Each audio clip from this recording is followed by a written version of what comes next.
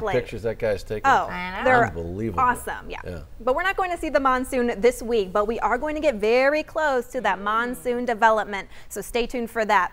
If we take a look at our satellite radar, we can see a band of showers and severe weather moving through the south and a section of severe weather moving through Texas and moving offshore. But back here at home, we are seeing a very different story. We are seeing crystal clear conditions on the radar, and that's what we're going to see the next several days. Why is that? Well, we have high pressure, which is going to continue migrating toward the Four Corners region, and that's where we want it for that monsoon development. So here's what I'm talking about. We can see this high pressure system off to our southeast. It's going to start trending in our direction, and by Friday, we're going to get it close to that Four Corners region. That's why we could see some isolated thunderstorms in the White Mountains, but nothing really as far as rainfall. Now, come early next week, on Monday, look at where this high pressure is set up centered right over the four corners. So next week we could start to pull in some of that moisture and maybe see our first monsoon 2019 storm.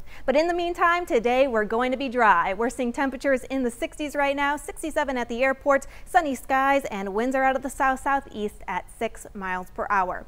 And current temperatures are in the 50s, 60s and even 70s in Phoenix. 75 in Phoenix right now, 64 in Casa Grande, 65 currently in Sierra Vista and 57 in Douglas. Warming up today to 101, so right where we should be for this time of year. It's going to be a little bit warmer than what we experienced this past weekend. 60s in the mountains and 90s in Santa Cruz and Cochise counties. But if you think this is hot, well, just take a look at our seven day forecast because temperatures are just going to continue to rise.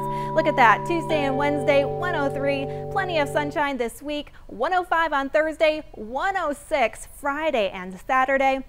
But we really need those consistent days of heat in order to pull in that moisture for that monsoon storm.